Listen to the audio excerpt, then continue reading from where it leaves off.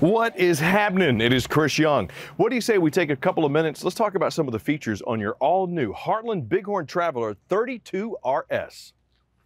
Congratulations on snagging your brand new Heartland Bighorn Traveler. Let's talk a little bit about some of the features. Right up front, I want to start right here with the Rotoflex fifth wheel hitch, the pin box, if you will. You got the pivoting head here with some control in it. What that does is that just helps stop that chucking and bucking while going down the road. Now you will notice with your Bighorn Travelers, you will have what's known as store more storage. What they've done is they've dropped the generator box down to the bottom right there, like you see right there. And they've given you three access points on most of the fifth wheels uh, and on this one for accessing your pass-through storage, which is heated, it's closed off, it's finished. And you might even get something as cool as this MORryde Easy Reel cord roller right there, which does have power and it also has a lock on it too. So uh, nice little feature to keep things neat and tidy.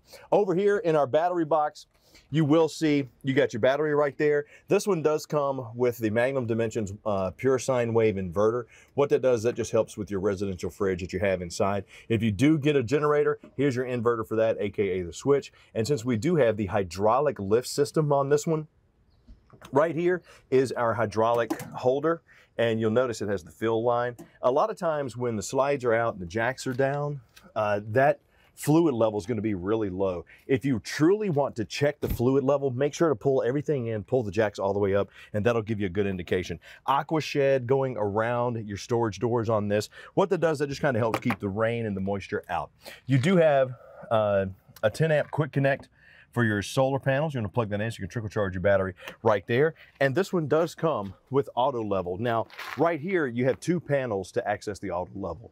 Right here is your outside panel. If you come out and this red light right here is on or blinking, what you're going to have to do is come around to the outside command panel which is right here, and this is where you can reset it. This is your external command panel located inside your pass-through storage with the rotocast down here. Some models may have that. I like this because you can put the wet stuff there. You also have strut supporting on all your storage doors going all the way around, anti-slam latches, and covered hinges. Now on your propane tanks, you'll have two 30-pound LP tanks, one on the left, one on the right. And you'll notice that you have your selector switch right here. Left means the left tank, middle means you're pulling from both tanks, and right means you're pulling from the right tank this little indicator right here, if it's green, that means that you have propane. But you got to check, make sure that it's open and you are connected. As you can see, you know, we're not connected here right now. But if that's green, you got propane. If not, you don't have propane. You'll also see the slides. You'll have different types of slides. You'll have the rack and pinion. You might have the worm groove. But regardless, what you want to do, if you can, get you some of that slide protectant uh, and conditioner that we sell at Camping World and Gander. Put that on about every 90 days so that you know your slides stay nice. They don't crack, they don't dry, and then chip all over you. Other side of our LP tank right here, You'll see that right there. Underneath, you do have the Lippert LCI Level Up hydraulic leveling system on this one. Now, it is hydraulic, but it does need electric to run. So uh, you want to make sure that you have good power. At least uh, 10.8 is what one of my tech buddies was saying, but that's a big pull on the battery. Try to get, uh, you know, at least 11 uh, or be plugged into shore power or your truck to get those up. You got a heated and enclosed underbelly under there as well. You got sealed tinted safety windows all the way around. You're either going to have the Solera, the Dometic, or the Carefree awning. With this one, you do have the adjustable pitch. As you can see, all you got to do to adjust it is pull it down. But I'm six foot two, and and my two inch vertical really doesn't do much to help me reach up there. Uh, but if you do need to manually roll this awning out, especially if it's the Lippert, you'll notice that there's a little rubber nozzle right there at the end of the awning. See the little circle? You pop that out, 7 16 drive, that'll get your awning out for you. You do have the step above solid steps on these too. So when you're putting them away or pulling them out of the coach, just make sure that the door is all the way open. They are strut supported. So grab the handle, just be careful. They'll go up. There's no locking mechanism because they are strut supported. Just be careful when pulling them down. And you'll notice we have the little release levers right here. That's how you get the legs to touch the ground. Just when you get it on the ground, make sure it's sturdy, make sure it's stable, and make sure this, the, the top plate, isn't so high that you can't close the door. Now you got these awesome Dexter Easy Lube axles. You got a 15 inch aluminum rims, nitro filled tires with the CRE 3000 suspension on there, which really helps give you some additional safety and security. But with those Dexter Easy Lube axles, about every thousand miles, that's when you want to put like one or two, no more than two pumps of grease inside of there. And make sure you get the right grease. Talk to your specialist about which one's going to be right for your RV. Spare tire is mounted underneath. Plus, if you do have the LP Quick Connect, you see right there, you just plug that right in to the receiver of your grill and you are good to go. Just make sure that you got propane and that the propane is turned on. Solid ladder mounted on this one over the top so you can get up here and check out the roof. You got backup camera, you got rain nozzles. You do have a two inch hitch right here, 3,000 pounds on that one. You got your 50 amp service right here. Just make sure when you're plugged in that this is screwed in and that you're getting juice. Also want to check and make sure at the junction box that the breakers are on. Another good tip too, if you can get a surge protector, just always helps because depending on where you're at, if they're pulling off the same grid and you got a lot of campers camping, it just, just trust me on that one. All right, sewer outlet connections right there. You'll also see our low point drains over here. You'll see the handles for the waste tanks. You got one here, you got one there. If you're gonna be draining the tanks, drain the black first and then drain the gray, but you don't have to keep them open if you're set up at the campsite. It's good to kind of have some, some water in those tanks, especially the black tank, because without it, you might get that pyramiding effect and uh, that could you know, just give you a false reading on your sensor. Plus it's, you know, a little bit harder to clean out. Uh, if you are filling your fresh tank, like right here at the external command center, I, I like this because you have the multi options. You got the city fixture, which is, you know, city connection, fresh tank fill, like you have over here. You hear the vent probably popping out, dry camping, or winterization down there. Uh, if you are filling up from a uh, well water, just be careful. Uh, every now and then, just clean it out with some white vinegar because that sulfur will deposit on the bottom of the tank, cause it to have bad smell. And if you're gonna flush out your black tank, like we have right here, make sure a, that you're connected for the water to go somewhere, the water and the waste to go somewhere, and that the black tank is open. You do not want that closed when flushing your black tank. You got your cable connections right here for your TV, your entertainment, your satellite, a GFCI outlet. You got the cable connection right there as well, little port for all your connections, a sprayer nozzle, and this has a 12 gallon DSI hot water heater bypass. And there's, you know, your valve controls for that to cut it off and on. Um, you got the direct spark on that, just like we have on the back of our hot water heater. So you do the little pull tab, lift that up, and right here, you'll see on the back of our Suburban water heater, you have the little electric switch, which isn't here. Okay, good. So that means it's, it's on the inside. Get your anode rod, your LP igniter, your pressure release valve, and your reset. Uh, one thing, especially if your uh, unit has been in storage, get some pipe cleaners, just carry them with you, keep them in the kitchen. Clean out this tube right here because propane has mercaptan in it and that smells really good to critters, bugs, bees, dirt daubers. Uh, and then sometimes, you know, you don't want that backsplash, you don't want that backfiring coming up. So you can easily clean that out with a pipe cleaner. Uh, also, if you're taking a look and you see a bunch of debris up the top of your hot water heater, that means it's got junk in there. You got to clean it out. Just, you know, get it serviced. And if you need to reset it, you just push the reset buttons right there. Uh, this is the back of our Suburban 35K BTU furnace. Just try not to block these vents right here because it is hot air coming out of there and that could set something like a chair or something like that on fire. Beautiful coach, well built, redesigned for 21, lots of features. Uh, just nice. And what do you say we go take a look on the inside, Bobby? So when you walk into your RV, probably the first thing you want to look for is your control panel. If you do not see it on the wall or anywhere, chances are it's inside one of the cabinets. So open up the cabinet, and here it is for hours right here. Now, this is where you can control everything from your water heater to your lights to running out your slides to the awning. You know, you got all your controls right here, as well as checking, you know, the status of some of your tanks. Your battery. Now, if you notice that, you know, a lot of things aren't running, uh, the slides aren't going out, uh, check your battery. If you're hooked up to shore power, it should be full. If you're running off of your coach batteries, two thirds is probably the least amount of juice that you want to be able to run the slides out. 11.8 is really that kind of sweet spot for running the slides out. Uh, so just, you know, make, you know, be sure of that. If you are going to be running uh, batteries and you need to power this refrigerator, this is your remote switch. You just push it to cut it on, hold it on, it'll beep, and then it's on. But obviously we're on shore power, so it's going to cut off. Now, with your gray tanks, if you clean them out and you know they're done, but you come and hit them and they're still showing like two thirds or full, but you wait, it's like, wait a minute, no, I dumped them. I know they're clean. Uh, they have sensors on the tanks that can sometimes get continuity between them because of moisture. Just wait 15 minutes or so, let the moisture drip down the side of the tank. That should break the connection between the sensors. You go back and check it, and it should read empty. If not, make sure that they actually are empty, flush them out, or bring it in for service. Let us take a look at it. Uh, now we're here, you do have a water heater. Um, this DSI fault, the direct spark ignition. So if we cut it on, this light will come on to cut it on, especially if we do the 120 volt. Uh, what that's doing is that's trying to light the water heater. If you have propane, this light will come on and then it'll go off. Uh, it may come back on to show you that you know that you've reached temperature. It may not. This may go off and come back on because we don't have propane in the tanks, nor do we have them open.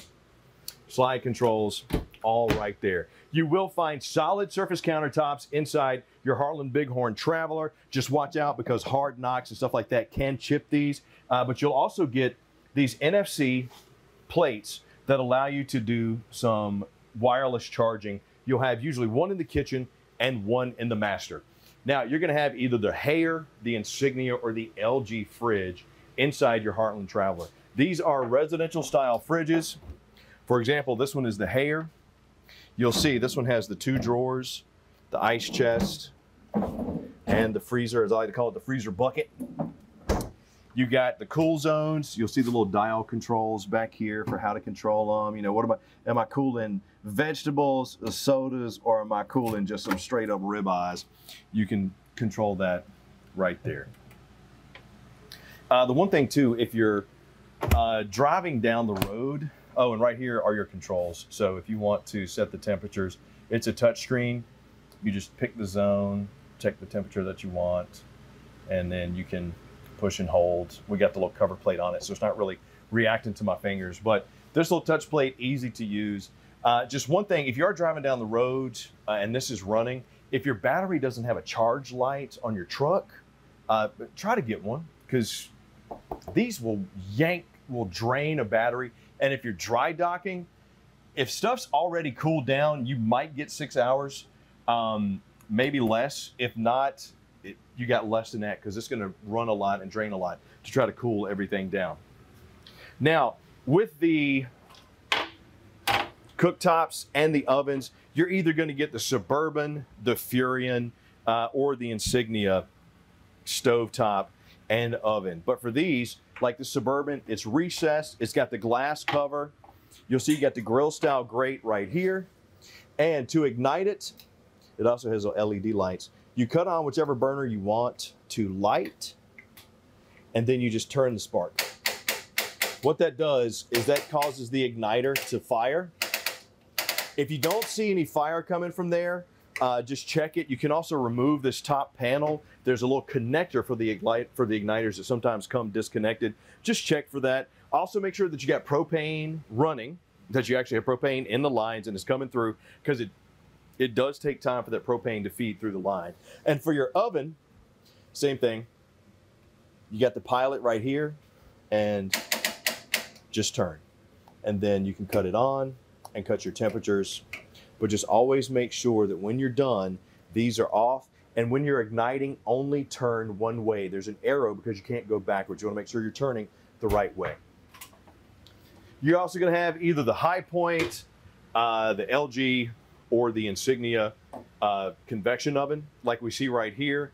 Easy to use, large, they work great, microwave and convection. When it comes to your countertops, you will have solid surface countertops in here, undermounted stainless steel farmhouse style sinks with these black, matte black high-rise faucets and sprayers. Uh, for hot and cold, you'll see hot is that way, cold is that way, and to open it, you just push it forward. That's uh, how you kind of, you know, pretty simple controls on that. For your entertainment, you will get a large TV. Some of them, or most of them, should be on the swivel arm and you'll see, oh, I'm sorry, Bobby. Come over here on this side so you can see the connections. Um, yeah, yeah. Let's even get back there. Oh, no, the countertop's keeping me.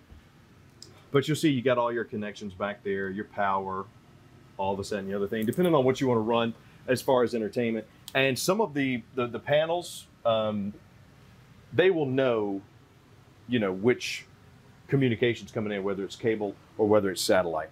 You'll also get uh, the electric fireplace, and these are great because they have a blower on them, roughly 5,000 BTUs of heat, multiple light settings, multiple dimmers and temperature settings and flame settings. And let me tell you, we just cut it on just now and that thing kind of kicked out some heat, didn't it, Bobby? that thing works really well. Does a good job of knocking the chill off the air, but it is electric will run on shore power. If you're plugged in and this isn't running, bring it in, let our service folks check it out. You can also check the fuse box or the circuit breaker, which we'll, we'll, we'll find that when we get to it, Bobby, sorry. Um, the fuse panel is really interesting because if there's a red light on the fuse, that means the fuse is bad, can be replaced. If you replace it and things still aren't working, whether it's the fireplace, the TV, the air conditioner, bring it in, let our service folks handle it for you. Now, you in some of these, you will have recliners, which have storage in the middle. Some of them will have storage on the end. They may have massage. They may have heat. They may have USB charging. They're awesome. This one just happens to be a sleeper sofa, which you remove the cushions. Just be careful. Pull it out. You see that you have the legs right there. Fold these out. This back piece just folds down to complete the bed. And there you go. Now, you're either going to have the GE or the Dometic uh, air conditioner on this. It could be a, a 15.5 and a 13.5, or it could be a 15K and a 13.5. It could be two 15s. It could be one 15. Um, just depends on the make and model, which one you get. But regardless, each one of them will have the quick cool dump. And I got to tell you, because it's a full profile fifth wheel, this is tough to reach. But as you can see, that quick cool dump does a good job of just dumping the air. When you close it, it comes through the ducts. You see your filter right there, which has the pull stoppers on it. Pull that down, clean it out, or exchange it. That's how you change the filter. And we'll get to the controls here in just a minute. But once again, if you plugged up the power, you cut the AC on, the control panel has power, it's lit up and you're able to use it. You're still not getting AC. Check to make sure you're plugged in. Check the batteries, the disconnect's not off or on. And make sure that those fuses aren't blown. If you're still not getting AC or heat, bring it in. We'll fix it for you. You're going to have freestanding dinettes in some of the Heartland Bighorn Travelers. For example, this one is the one that has that rustic feel. It's beautiful. It has the extendable leaf right here, which when you pull it up, these little legs lock into place. And to release them, you just pull it down and push it down. This is obviously set up for delivery, so we're not gonna go through all of that. Just be careful because I will let you know if you try to grab it right here from the bend point, that's the quickest way to get your fingers pinched. Not a good day in the neighborhood. LP and O2 detectors right here.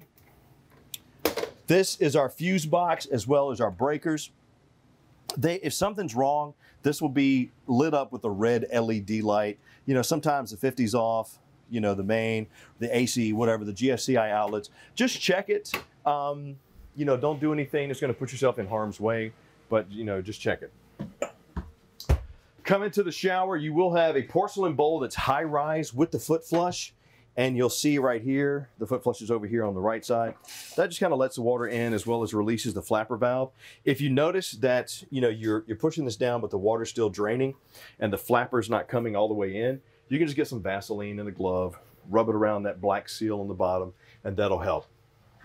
You will have a walk in, single surround shower with the glass enclosure, corner notches, and bench seats with skylight, good headroom, and your little shower nozzle right here with the off and on switch.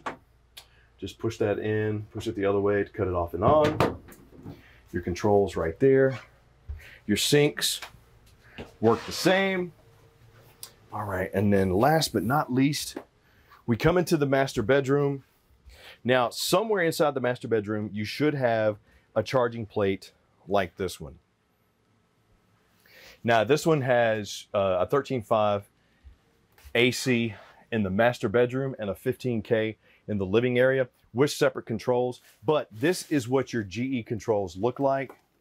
This is your mode. You just cycle through if you want cool, you want the furnace, you want it off, or you want the fan. Um, let's cut that up a little bit.